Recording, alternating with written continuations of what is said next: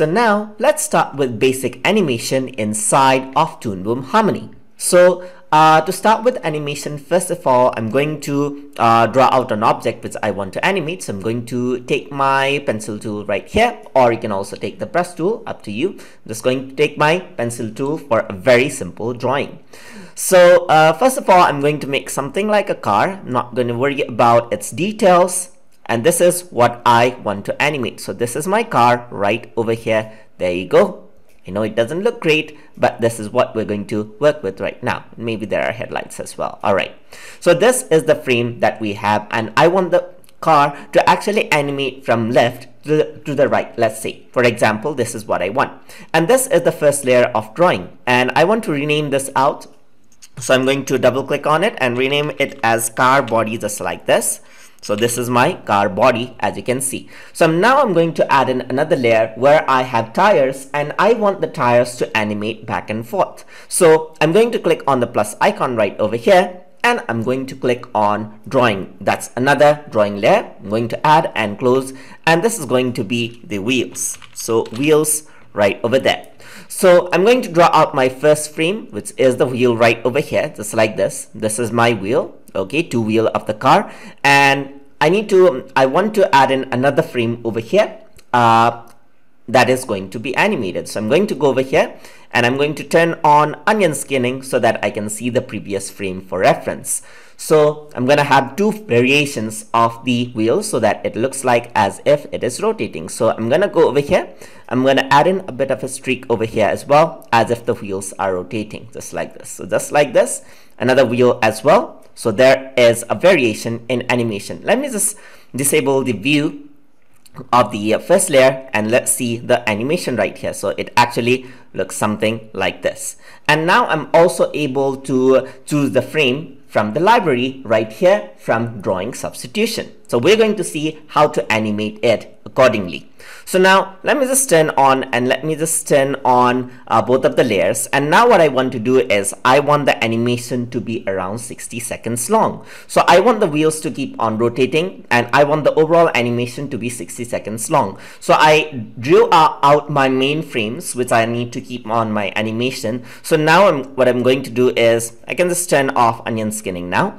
So I'm going to add in the frame. So, so the car body will remain as it is. So I'm going to go over here and add in frames over here. So I'm going to go over here and I'm going to hold shift on my keyboard and press the plus icon and that will increase out the frame range as you can see and you don't see any division right here that means it is the same frame which is extending uh, extending so i'm going to hold shift and press the plus button right over here and once I keep on pressing plus you can see that I can make it around 60 frames long. So this is what I want right now. So car body is there on all of the frames as you can see right now. So what else I, wa I want to do is I want to increase these frames as well. So I'm going to go at the end right over here. Press shift plus and there you go I can add in frames over here just like this. So now if I were to actually go in the beginning you can see that the tire is actually rotating but I want it to rotate along just like this. So I can actually go over here I can go over here and here on the front on the timeline you can see that there's one here there's two. That means it, in, it is using the second drawing. I can actually go anywhere on the spot and say one so that it actually goes back to the first drawing just like this as you can see and there's a sort of a line right over there. So there's the, there you go. There's the first drawing, second, first, and so forth. You can also go over here onto the library and change out the wheels right over here, right over here, go back, or you can also go to the zero frame, but that simply means no drawing. You don't want that. You actually want the drawing right there. So this is one. So randomly, I'm going to select both of the drawings just like this. And you can see how easy it is. So you can just choose the drawings. All of the drawings that you make on the frames will appear over here. So we only have two variations. So only two variations actually came out over here. So I can go over here. I can go over here just like this.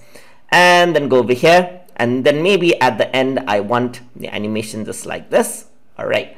So now once I change the frame this is how it looks like. If I were to press the play button on the left side what happens is that you can see that the car wheel seems like it is animating. If I want to add in more frames simply go on to the blank spot right here and change the frame just like this. And there you go. This is like a group of animation. So we are just working around with the movement of the overall car right now. So we are just working around with what is what is happening within the car itself as you can see. And now what I want to do is I want to animate the whole car from left to right. So now I want to do a motion animation. So what I have to do now is select both of the layers just like this, the wheels and the car body. So just select both of them and make sure that the animate current frame is actually turned on. So this has to be turned on.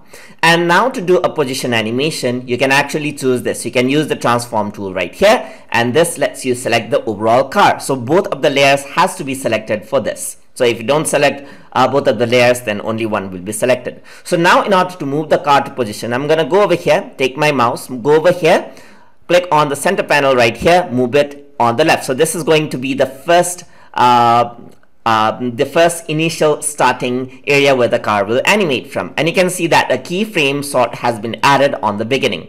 Now I'm going to go all the way to the end. This won't affect the animation that is happening internally within the frames. So you can see that this is the first animation and the last animation I'm just going to click and drag this out right here. So you can see that now there's a sort of an animation going on. So if I were to press the play button now you see this is what happens. So the car is actually animating. The frames that we actually animated stayed there. And the overall object is actually moving from left to right as if uh, like it's a own group. So I can actually go over here and since we are still in the transform option, I can move it a bit above. So you can see that this actually will look like it is the car actually going up for a bit and down just like this.